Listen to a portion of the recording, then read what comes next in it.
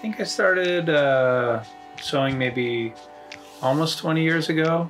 I was influenced by Margaret Kilgallen and Barry McGee, two friends of mine, that were working with sewing pieces together and looked like fun. So I tried it, but I kind of did it mostly kind of in secret for maybe five years or something.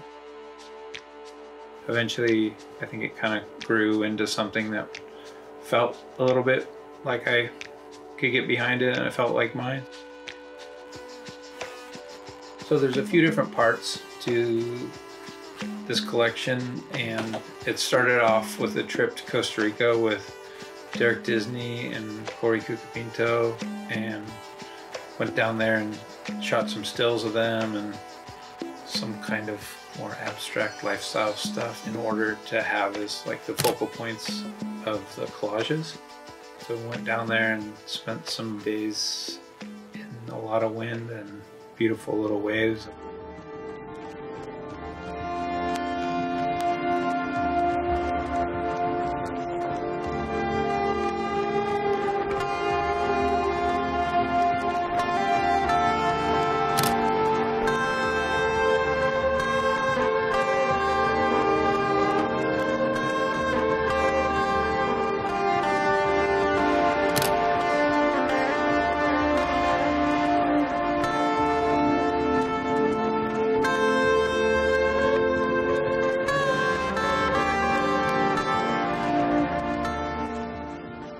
I had some basic ideas about some of the more like the the ones with Derrick and Corey holding the boards like that.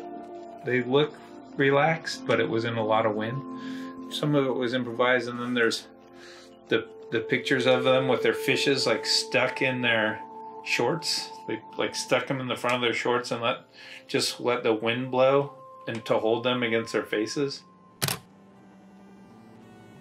Then I came home and made Polaroid transfers and then incorporated that stuff into the pieces.